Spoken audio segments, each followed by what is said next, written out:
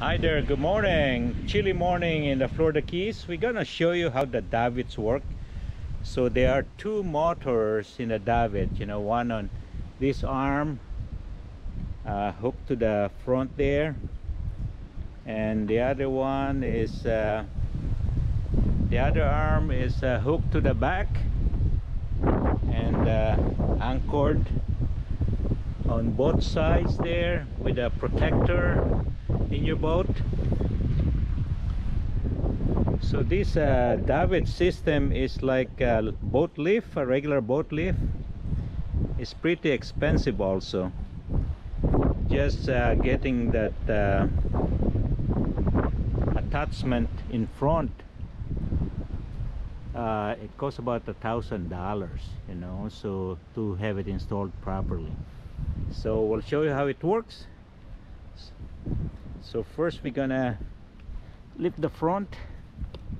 It is a pretty slow process. Just a quick tip we put a paint mark here and here. So as soon as that line so it's gonna be uh, lined up all the time at the desired uh, level and then we're gonna so the two motors are working so it's lifting the back portion. So the front should be slightly higher than the back so the water will drain to the back drainage. So it's uh, being lifted now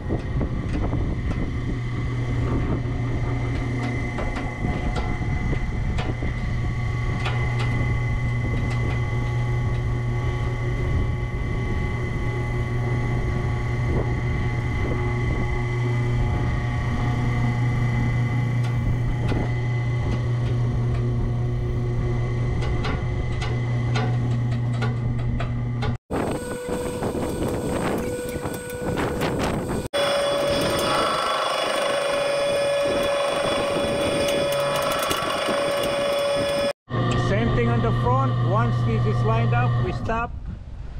So we can uh, mark that so it's going to be the boat will be level properly all the time. So now the boat is uh, lifted out of the water.